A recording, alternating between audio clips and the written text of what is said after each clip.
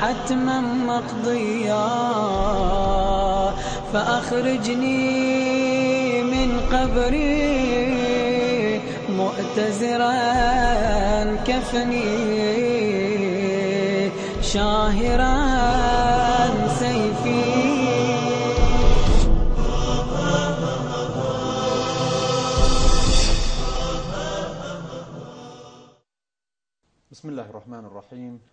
والصلاة والسلام على رسول الله محمد وعلى آله الطيبين الطاهرين. السلام عليكم مشاهدينا ورحمة الله وبركاته وأهلا وسهلا بكم في هذا اللقاء المتجدد.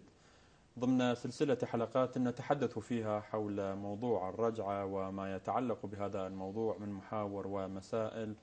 ويطيب لي أن أستضيف سماحة آية الله الشيخ محمد السند. أهلا ومرحبا بكم سماحة الشيخ. حياكم الله أهلا وسهلا. حياكم الله. سماحة الشيخ كان الحديث في الحلقة الماضية حول أدلة الرجعة وذكرتم طائفة من الآيات التي تشير وتؤكد هذا المعنى. ماذا عن بقية الأدلة؟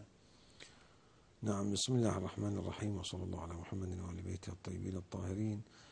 في الحقيقة الآيات والطواف الآيات القرآنية كثيرة وعديدة جدا كما مر بنا. وفي الحقيقة عشرات أو مئات الآيات الكثيرة الدالة على هذا قد صنفت في ضمن طوائف. قد أشرنا في الحلقة الماضية في الحقيقة إلى رؤوس فهرسية منها. نعم. وأما بالنسبة إلى آيات عديدة بألسنة عديدة جدا. لا يسع لمقام استعراضها كلها. ولكن هناك أيضا نمط آخر من الأدلة وهي روايات الفريقين. في البدء نستعرض روايات أهل البيت. روايات أهل البيت عليهم السلام الواردة عن النبي وعنهم من طرق أهل البيت أيضا. في الرجعة إلى ما شاء الله. أكثر خطب النبي أكثر الزيارات. مثلا الشيخ الحر العاملي رحمة الله عليه في كتاب الإيقاظ من الهجعة في إثبات الرجعة تعرض إلى 620 رواية فقط. كلها تتحدث عن الرجعة. مع أن الحر يقول في مقدمة كتابه لم أنقل كل روايات الرجعة. يعني هناك تواتر في الروايات في هذا الموضوع. طبعا. الآن أعرض بخدمتكم. يقول الحر العامل في أول كتابه لم أذكر كل روايات الرجعة إما وإما وإما لأسباب عديدة. نعم. من ضمن تلك الأسباب التي يذكرها الحر العاملي يقول لأن كثير من العقول لا تتحمل جملة من مفاجآت ومعاني الرجعة. ما ورد في الروايات. نعم ما ورد في الروايات. فأعرض عن ذكر ما تستبعده أو تستوحش من فهم أو معرفة العقول سيما آنذاك. ربما الآن الأبحاث العلمية كثير ساعدت على تصورات واستعدادات الفهم البشري للتعرف على حقيقة الرجعة. كما أن المعاد الأكبر تتنكر له كثير من الأمم لاستبعادها أو استغرابها من حقيقة المعاد الأكبر. المجلسي رحمة الله عليه في البحار تعرض ل 200 رواية وبين الروايات التي ذكر المجلسي والحر يعني فوارق كثيرة. يعني ليس كل ما استعرضه الحر استعرضه المجلسي أو العكس. نعم. بل هناك موارد اختلاف كثيرة. يعني مقصودي اختلاف في عدد الروايات وموارد الروايات. قليل من الروايات المشتركة بين المجلسي والحر. نعم. تلميذ المجلسي الشيخ عبد الله البحراني الأسفهاني استعرض مئة رواية على أستاذه استدراكا. غير التي تعرض لها لم يذكرها في كتابه. لم يذكرها في كتابه. هناك سيد محمود بن فتح الله الكرمنشاهي أشار إليه الحر العاملي. نعم. ألف كتابا في الرجعة معاصر للحر وتأليف كتابة في الرجعة قبل الحر.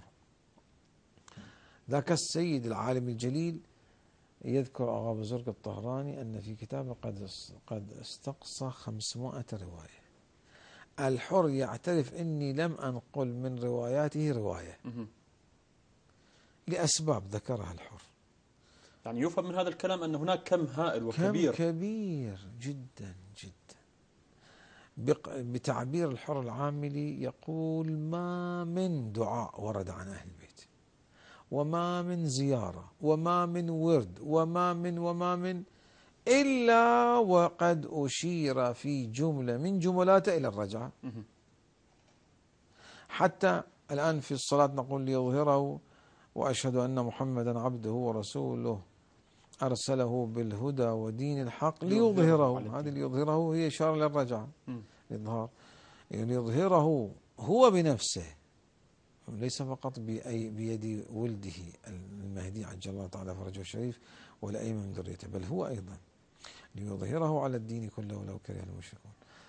ففي الحقيقة كما يقول الحر العملي في رواية أهل البيت تلقين وتعليم الرجعة في يوميات المؤمن والمسلم في تعقيبات الصلاة في الزيارات في الأدعية في في في في يوميات. كما يلقن المؤمن الشهادتين والشهادات الثلاث يلقن الرجعة نعم. لأسسيتها وركنيتها ودعامتها وأنها من أركان على أي حال ال- ال- الإيمان. كما مر في الحلقات السابقة ليست أساس وأصل بمعنى البوابة ولكنها من ضرورات نعم الاعتقاد في المذهب فرواية أهل البيت ولو يا حبذا لو ينشأ مركز كما انشأت مراكز دراسات كثيرة حول مشروع الإمام المهدي عجل الله تعالى فرجه الشريف. حبذا لو يؤسس أيضا مراكز آه، علمية تستقصي مصادر آه، روايات الرجعة لذرف العدد إلى ليس إلى آلاف وليس إلى ألف أو ألفين أو ما شابه ذلك. ال- ال- المقدار كبير جدا. وقد أعرض عنه عن استقصاء أو عن جمعه كثير من العلماء لتشعب البحث وترامي آفاقه ومصادره ومواده هذا بالنسبة لروايات أهل البيت عليهم السلام. نعم. وأما يعني كل هذا الكم الكبير سماحة الشيخ ورد عن طريق أهل البيت عليهم أهل. البيت عليهم السلام. وهناك أيضا روايات أخرى وردت عن غيرهم؟ نعم. الروايات التي وردت عن طريق العامة أو أهل سنة الخلافة الصحاح الستة والعشرة وغيرها من كتب الحديث لديهم. وردت في الرجعة بشكل متواتر من حيث لا يشعرون. رووها حتى البخاري ومسلم والنسائي وابن أبي داود وابن حنبل والبيهقي والترمذي وال وال وال وال أيضا يعني عدد لا يستهان به من الروايات التي روى مئات آلاف الروايات. طيب لماذا لم يؤمنوا بها لأنها لم ترد بلفظة الراء جيم عين تاء. أمر غريب يعني. أي وردت بماذا؟ وردت بعناوين أخرى. وردت بمرادفات أخرى. فصول الرجعة أكثرها قد رووها هم من حيث لا يشعرون. مثلا أحد فصول الرجعة عنوان مجيء الآيات. هو مجيء الآيات هو في الرجعة. نعم. بحسب ال- ال- المشهد القرآني الذي تستعرضه الصور العديدة حول مجيء الآيات. دابة الأرض من الآيات. أيضا هذه رواية مستفيضة. دابة تخرج من الأرض لا من الرحم. تكلم الناس تكون حاكما على الأرض. تذل المنافقين. وهذا كلها قرائن تشكل على أن لطيف دقق في العبارة. نعم. العبارة المتواترة في الحديث الذي رواه أهل أهل الشيعة وأهل السنة سنة الخلافة أن دابة الأرض تذل المنافقين وتعز المؤمنين. ليس بحث الكافرين. نعم. تذل المنافقين وتعز. المؤمنين. أين معز المؤمنين؟ فحاكم حاكم على الأرض دابة الأرض إنسان كائن حجة من الله خليفة الله يقيم عدل الله في الأرض غير المهدي. نعم. بعد المهدي. روايات متواترة لكن لم يشعر. هذا عنوان ثاني. عنوان عنوان ثالث مما رواه الآيات أشراط الساعة خروج الدابة الملاحم في آخر الزمان الملاحم في أكثر الكتب التي ألفت عندهم وعندنا في ملاحم آخر الزمان ليس مخصوصة بمشروع الإمام المهدي وظهور الإمام المهدي ما بعده. كثير من فصول وأحداث الرجعة العظيمة المهولة لكن لم يشعروا أنها هي رجعة بأنها رجعة عنوان خامس آخر. أيضا رووه هم من حيث لا يشعرون. ومستفيض.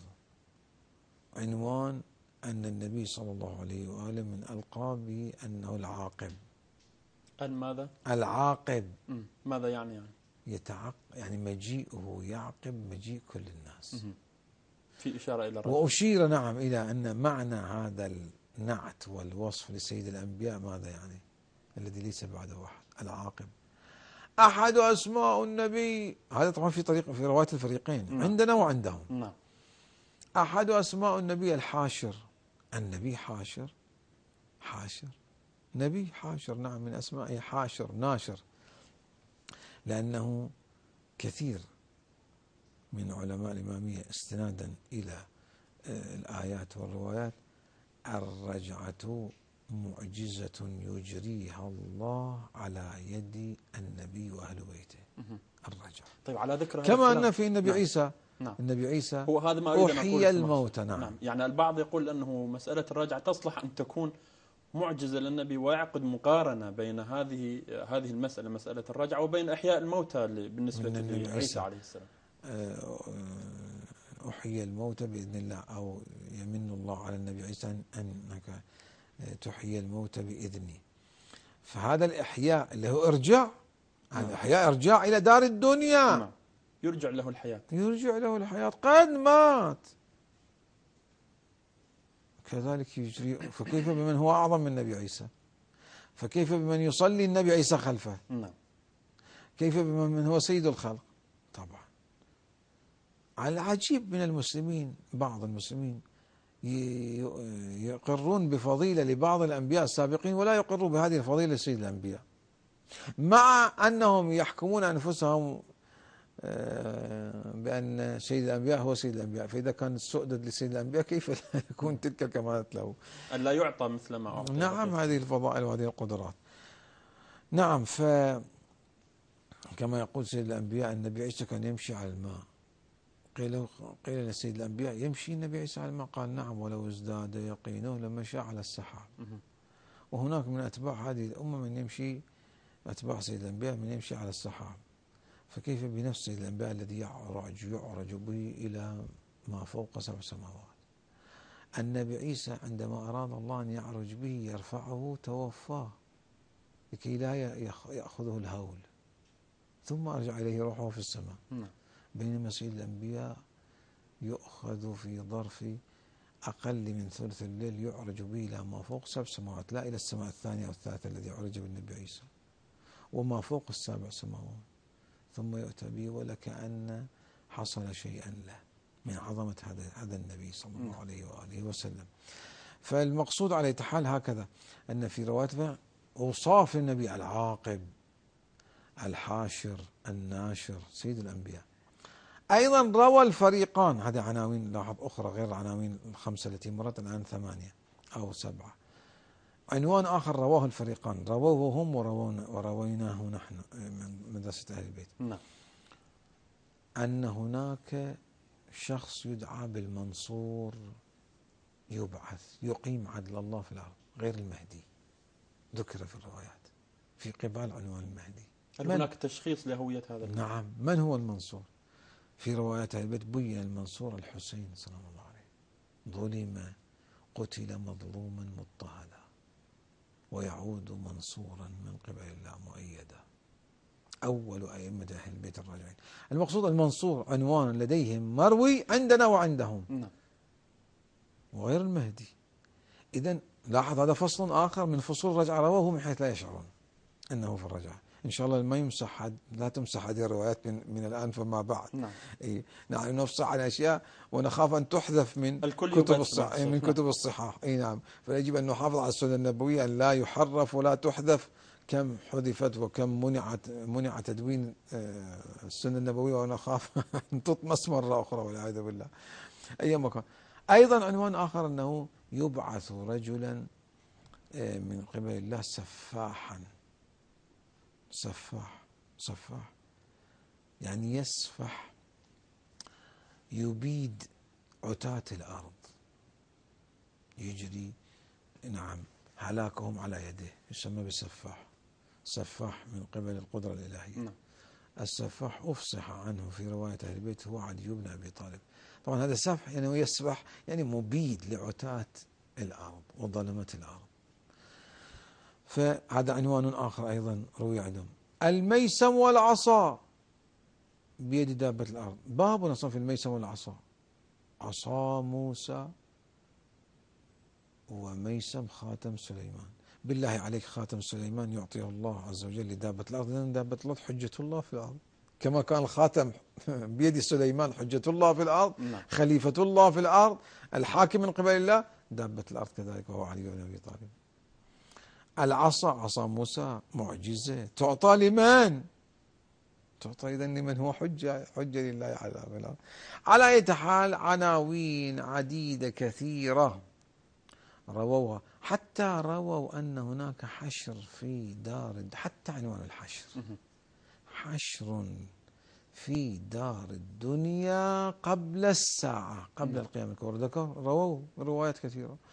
سواء في كتب الصحاح العشرة أو كتب الملاحم كتاب نعيم ابن حافظ أو غيره وغيره من كتب من كتبوا في كتب وجمعوا فيها أحاديث تحت عنوان وفهرست عنوان الملاحم والفتن في آخر. الزمان طيب. أصلا نفس عنوان الملاحم والفتن يستطيع الأخوة المشاهدون المؤمنون والمسلمون أن يقرأوه في مصادر الفريقين ليشاهدوا أن هناك فصول ومشاهد وأحداث للرجعة كثيرة كبيرة طيب سمحت شيخ نتوقف عند فاصل ونعود لمواصلة الحديث. فاصل قصير أيها السادة ونعود بعد ذلك.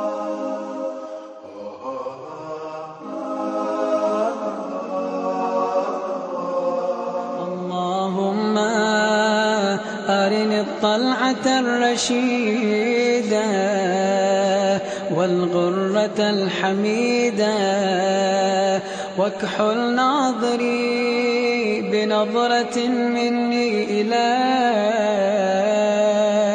وعجل فرجا وسهل مخرجا وأوسع منهجا. واسلك بي محجة. وأنفذ أمرا واشدود أزرا واعمر اللهم به بلادك وأحي به عبادك.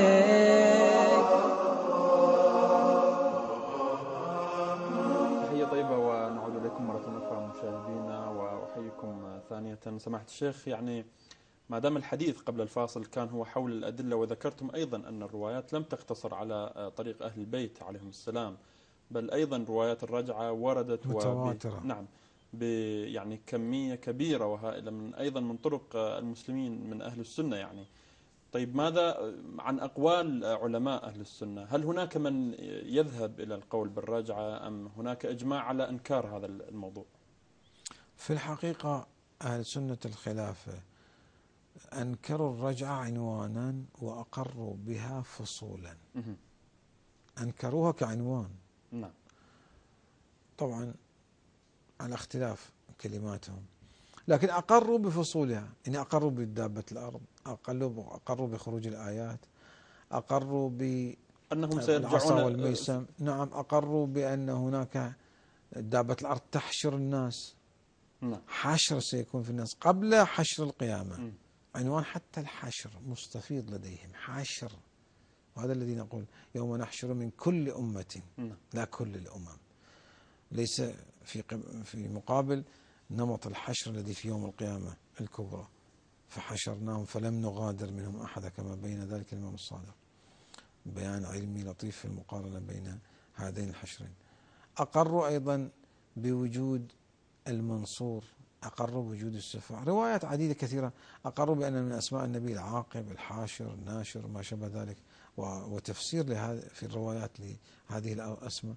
فإذا هم أقروا بمجمل بفصول ومشاهد وأحداث عظيمة كبيرة في الرجعة وهي رجعة وكانهم لا يلتفتون أنها رجعة. أنكروها اسما وعنوانا ولكن أقروا بكثير من فصولها. طبعا هناك نكتة مهمة يجب التأكيد عليها نعم. للمشاهدين الأعزاء من المؤمنين والمسلمين أن العقيدة يجب أن لا يأخذها الباحث المسلم أو المؤمن من أفواه كتب آه، علماء باحثين فقط لا. بالأصل يأخذها من القرآن والسنة. وبعبارة أخرى كتب الأحاديث أو كتب شرح الأحاديث لدى أهل السنة مشتملة على عقائد كثيرة إسلامية طمست أو لم تذكر أو حذفت أو عمي عليها نعم. في كتب الكلام عندهم مثلا تأخذ كتاب كلامي مثل كتاب المواقف للإيجي عندهم أو المقاصد للتفتازاني أو العقيدة الطحاوية أو كذا فلان فلان لا تجدها مشتملة على كل العقائد التي وردت في كتب الأحاديث لديهم. إذا كانت يعني ذكرتم أنه عقائد إسلامية سمعت الشيخ. يعني لماذا لم تذكر في هذه الكتب؟ لأسباب عديدة. قصورا وتقصيرا وربما لا سمح الله عنادا. لذلك آه، وصية أكيدة للمشاهد العزيز إذا أراد أن يتوفر على العقيدة الصحيحة السليمة أن يذهب إلى القرآن وأحاديث الفريقين وليكن حتى الأحاديث التي لديهم. سيشاهد في الأحاديث وكتب شروح الأحاديث آفاق لم تذكر في كتب العقيدة التي ألفها علماءهم نعم. وهذا أمر مهم. يعني أو يعني أعرض أعرض صار إعراض عن ذكر حقائق عقائدية كثيرة مذكورة في الروايات الموجودة لديهم وشروح تلك الروايات حتى كتب. لذلك تلاحظ أن شراح الحديث لديهم نسبيا أسلم من من كتب في العقيدة بشكل مجرد كتاب كلامي بعيد عن الروايات. نعم أو لم يستعرض كل الروايات. مثلا هذه الحقائق موجودة الآن لديهم لكنهم يلتفت. حقائق كثيرة من عقائد مدرسة أهل البيت يعني وحقيقة الدين والقرآن موجودة لكن في فصول كتب الأحاديث لديهم لكن لم تترجم نعم. في كتب العقائد لديهم فعلى المسلم أن آه، يبرئ ذمته ما بينه وبين الله عز وجل بأن يرجع إلى إلى ماذا؟ إلى تلك المصادر الأصيلة يرجع إلى كتب الأحاديث وشراح الأحاديث وما شابه ذلك ويتدبر مليا في هذه المعاني سيجد الشيء الكثير آه، نعم من الأدلة هذا بالنسبة إلى الدليل الثالث من على الرجعة وهي الروايات المروية عند أهل سنة الخلافة عندهم بشكل متواتر. وإن لم يكن بلفظ الرجعة ولكنها بأسماء وفصول الرجعة التي هي ذات مشهد عظيم وحدث كبير في الرجعة. أما الدليل الرابع للرجعة الدليل الرابع في الرجعة الدليل العقلي. والدليل العقلي والبرهان العقلي أشارت إليه الآيات والروايات ولكن مر قرون على مدرسة علماء الإمامية أو مدارس العلماء آه، لم يتفطنوا إلى النكات والبراهين العقلية في الروايات. إلا أن في الآونة الأخيرة لما يعني عدة ربما الحر العاملي غيره التفتوا إلى جملة من الأدلة العقلية ولكن بلورت بشكل بعد أعمق على يد الحر العاملي في كتابه ومن بعده أيضا آه، على يد جملة من علماء الإمامية في العصر الأخير كالعلامة الطباطبائي في الميزان استدل على الرجعة ببرهان عقلي آه، اقتنصه من بيانات الآيات والروايات وأيضا الشيخ محمد الشهابادي المحقق الكبير الذي توفي قبل ربما أربعين خمسين سنة. نعم. على حال أيضا هذا عنده رسالة أو كتاب شذرات الذهب ورشحات البحار أشار فيه للبرهان العقلي على الرجعة. أيضا هناك الفقيه الحكيم السيد المولى الرفيعي عنده رسالة آه، خاصة بالبرهان العقلي على الرجعة. أيضا هناك تفسير بيان السعادات استدل على البراهين العقلية على الرجعة وهو وإن كان من الصوفية ولكن على حال الاثنى عشرية آه، من الفرق الصوفية لكنه على حال آه، استدلاله متين وسديد مأخوذ من بيان الآيات والروايات. وهناك على حال آه، الفيض الكاشاني في الوافي هو إشارة خفيفة إلى الاستدلال العقلي. وكثير وكثير في الحقيقة إذا أردنا نستعرض عند المتأخرين بدأ يتبلور الدليل العقلي على الرجعة. وملخصا أشير إلى بعض تلك الأدلة نعم. أن النفس الإنسانية في هذا البدن في الحياة الأولى بأجل مخترم أو أجل معين محدود لا تستكمل كل مسيرة الكمال التي قدر لها أن تستكملها وتطويها في الحياة الأولى هذا فضلا عن الذين اخترم اخترمت أعمارهم بآجال مخترمة كحوادث معينة قتل ما شابه ذلك. فهؤلاء من الواضح أو في ينعان وريعان أعمارهم رحلوا. فحينئذ ليس هناك خلقة وعالم خلقة من الله إلا وقد قدر في حكمة الله أن تبلغ غايتها. نعم. ومن غايات حينئذ الرجعة من غايات أيضا عالم الدنيا أن تستكمل النفوس كمالها وسعادتها. أليس رحابة العدل في الأرض؟ تفشي القسط في العدل القسط في الأرض. تفشي السعادة في الأرض الأمن في الأرض. عزة المؤمنين كذا كذا كلها كمالات. هل تنشأ هذه النشأة بدون استكمال وصول؟ خلقة هذا العالم إلى الغايات حاشا. ويكون حينئذ هذا الخلق هذه الخلقة لهذا العالم جزاف وعبث. وما خلقنا السماوات والأرض باطلا. ذلك ظن الذين كفروا. خلقناهم بالحق. حق يعني في غاية. غاية غاية كمالية. أكو هدف منشود يعني. نعم كمالية. قبل غير القيامة الكبرى. قبل كل عالم فيه كمال حق حكمة من الحكيم. نعم. لابد أن يصل إليه. إذا من هذا القبيل إذا براهين آه، عديدة على أنه نعم هذا ليس كالتناسخ كما مر بنا. إنما تأتي النفس من حيث وقفت في مسيرة تكاملها تعود إلى هذا البدن تواصل هذا المسير لتستفيض من الأعمال الصالحة أو لا سمح الله إذا تردت في الدركات تكون حجة لله بالغة أكثر وأكثر عليها. هذه إذا ماذا؟ إذا لاحظ كما يشير الحر العاملي يشير جملة من حتى فلاسفة الشيعة وكما الشيعة لبيان الرجعة. لاحظ كما يشير حتى آه، ينبه على هذا البيان العقلي سيد الأنبياء صلى الله عليه وآله وسلم. ماذا؟ كما تنامون تموتون نعم. وكما تستيقظون تبعثون. إذا لاحظ هذا يوميات النوم واليقظة هي موت موت وحياة موت وحياة مصغر. نعم. إذا حالة هذه الحالة الدورية المتكررة الإنسان أنه ينام ويقوم يبعث ويمات. الله يتوفى الأنفس حين موتها لذلك يقال يعني يطلق القرآن الكريم كما مر بنا آه لبرز الذين كتب عليهم القتل إلى مضاجعهم. قال لو كانوا هنا ما قتلوا وما نعم. في تلك السور والآيات. هو هنا لاحظ القرآن يطلق على الموت أنه ماذا؟ يطلق على الموت أنه مضجع. إذا هذا مضجع مضجع إشارة لماذا هذا من ضمن آيات الرجعة. نعم. مضجع إشارة أنه سيكون هناك يقظة استيقاظ. نظير ما ذكر القرآن الكريم حتى عن أهل الكهف.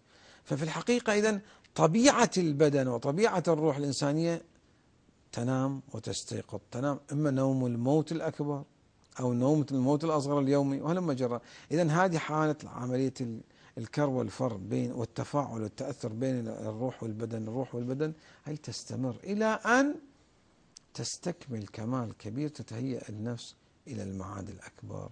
فهذا برهان على سلسلة إذا تكامل وسير الإنسان نعم في الرجعة وحتى لاحظ نزعت كل إنسان.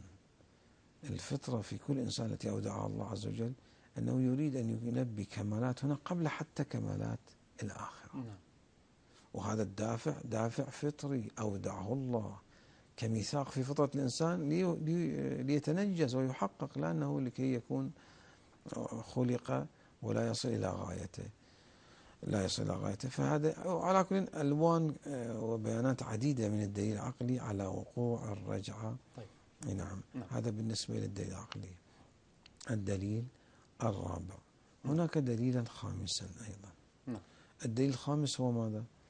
الدليل الخامس هو أن التوراة والإنجيل القسم غير المحرف غير المحرف نعم. فيما ومر أنه إن الذين آمنوا يؤمنون بالله ورسله نعم. وكتبه المؤمن ليس يكفر بكتب الله المنزلة لأن الدين واحد الشرائع تختلف. أما الدين نعم. والعقائد من الدين وليست العقائد من دين عند ماذا؟ الله الإسلام. الدين عند الله الإسلام.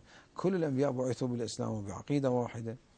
ومن عقائد التوراة القسم الحقاني في التوراة.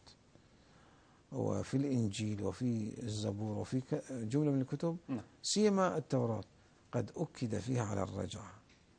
وعلى كل هذه د- دليل حق و- وبعبارة أخرى نلاحظ جميع الملل والنحل. حتى المنحرفة اللي ربما كانت في الأصل هي ديانات هي ديانة سماوية. انحرفت عن الديانة السماوية. عندهم عندهم ماذا؟ نعم. عندهم نزوع فطري. تربية أديانية على عود الإنسان. في الحياة. لإعمار هذه الأرض نعم. أخطأ القائلين بالتناسخ بقولهم بالتناسخ أو القائلين بأقوال أخرى في أقوال أخرى. هي الرجعة هي المعاد هي الرجعة العود إلى نفس البدن إلى نفس الهوية إلى نفس الشخص من من من رحم القبر نعم. وليس من رحم الأم ولا من أصلاب الرجال وإنما من الأرض. نعم. أخرجنا لهم دابة. من الأرض. عنوان. نعم. تكلمهم. نعم. أن الناس كانوا بآياتنا نعم. لا يوقنون. ففي الحقيقة إذن هناك إذن أدلة خمسة متنوعة تحمل عشرات الأدلة في طياتها نعم. على عقيدة الرجعة أنه مشروع مستقبلي واعد تنتظره وتأمله البشرية ويجب أن تكون في مخطط وتخطيط آه، المستقبلي والنظرة المستقبلية للبشرية يجب أن يكون هناك آه، هذا الالتفات البشري إلى مثل هذه الآن لاحظ آه، في العلوم البشرية هذا نأخذ هذا دليلا طائفة نعم. سادسة حتى من الأدلة هناك الآن من أهم البحوث الأكاديمية في الجامعات في مراكز الدراسات. الاستراتيجية حتى؟ لدى البشر؟ ماذا؟ ماذا؟ نظرية المستقبل. علم المستقبل. استشراف المستقبل. استشراف المستقبل. إذا المستقبل حقيقة يريد أن يتعرف عليها البشر. نعم. لاحظت سبحان الله كيف البشرية تنزع فطريا نحو مشروع أهل البيت المشروع المهدوي مشروع الرجعة. تلقائيا تتفتق فطرتها باتجاه مدرسة القرآن التي هي مدرسة أهل البيت. نعم. فالآن إذا هناك آه، سعي حثيث بشري الآن في بحوث العلوم الروحية حتى في الشرق والغرب. هل يتعقل مشاركة الأموات إسهامهم لحياة الأحياء. شوف هذه فكرة بدأت تتطلع الآن جليا هي نوع من فكرة الرجعة. نوع من فكرة الرجعة. الأموات بأشخاصهم بهوياتهم بأبدانهم هل يساهمون؟ هل هل هل هل؟ هذه الهلهلات هي في الحقيقة تفتق وتعطش البشرية نحو هذه المعرفة وهذه العقيدة وهذه الحقيقة التي ستطالعهم عليها مستقبليا. طيب. سمعت شيخ. إذا يعني من خلال هذا الحديث آه، أن هناك آه، الكثير من الأدلة التي تثبت مسألة الرجعة والأمر أيضا من خلال الروايات لا يقتصر عن أهل البيت عليهم السلام. وأنه. نزوع فطري بشري. نعم. شكرا جزيلا لكم سماحة حياكم الله. الشيخ محمد السند شكرا لكم مرة أخرى. أهلا. وسهلا بكم. وشكرا لكم سادة المشاهدين على طيب متابعتكم وحسن إصغائكم حتى نلتقيكم في لقاءات أخرى تقبلوا تحياتي وتحيات كادر العمل. دمتم بخير والسلام عليكم. آه.